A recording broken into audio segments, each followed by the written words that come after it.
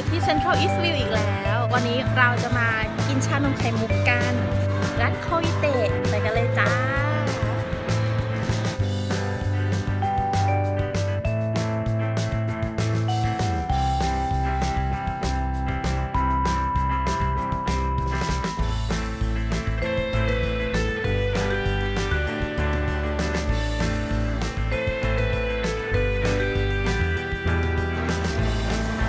ไปแล้วค่ะ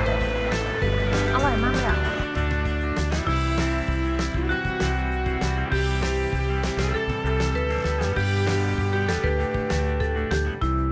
สาขานี้ที่เซ็นทรัลอีสต์วิวนะคะ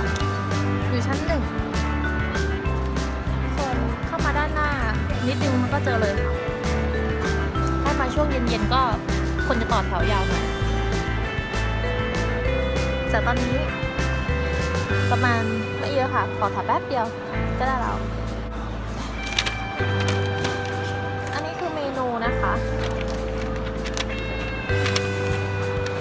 นี่ไม่เป็นเพื่อนแวะมานะคะที่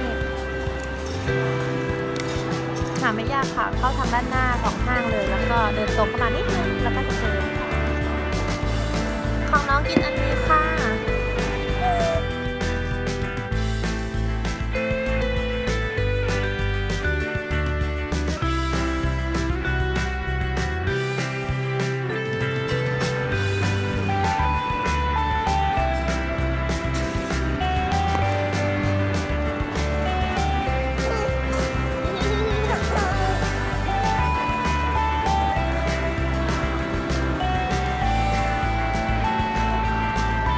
เจอกับพวกเราใหม่คลิปหน้านะคะ